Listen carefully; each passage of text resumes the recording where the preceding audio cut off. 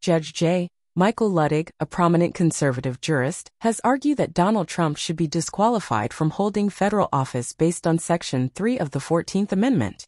This section states that no person who has engaged in insurrection or rebellion against the United States shall hold any office, civil or military.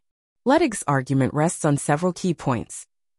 Luttig maintains that Trump's conduct surrounding the January 6 th Capitol attack constitutes insurrection as defined under the 14th Amendment. He cites Trump's false claims of election fraud, pressuring state officials to overturn results, and his inflammatory rhetoric on January 6 as acts that incited the mob to disrupt the lawful transfer of power. Intent and knowledge. Luttig argues that the 14th Amendment does not require proof of criminal intent or even a formal conviction for insurrection.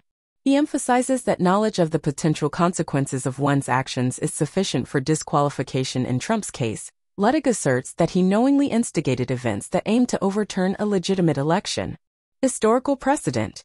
Luttig draws historical comparisons to prior applications of the 14th Amendment, particularly during the Reconstruction or following the Civil War.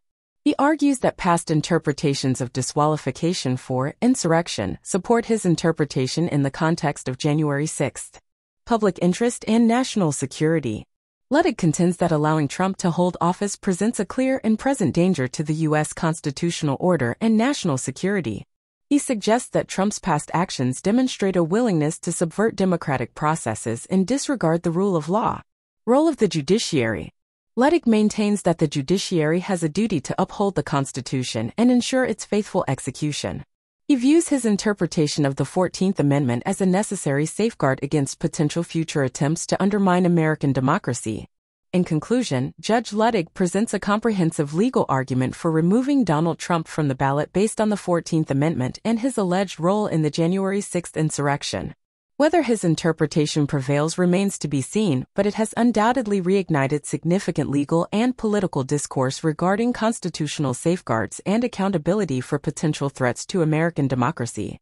Also, I must add that Judge Luttig believes the rule of law is following the democratic process to determine Donald Trump's fate, and it should not be determined by an election. This is why there is a Constitution and a Bill of Rights. The U.S. is a country ruled by the rule of law.